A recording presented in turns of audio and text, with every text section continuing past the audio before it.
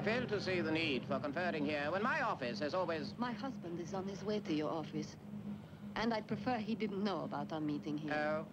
I do have my reasons. Then perhaps you can also explain the reason for calling in the police. The attacks on my husband's life have become a matter of record. And the police have, however sketchily, a suspect. My associate is in a state of panic. Who knows what he might do in order to bail himself out? Has it ever occurred to you that if Jan de Grota has one enemy, he has others? Others who might follow suit should this man fail. That would complicate matters tremendously. For all of us.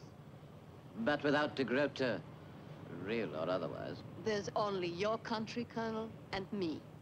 A much more simple and satisfactory arrangement. And what do you want from me?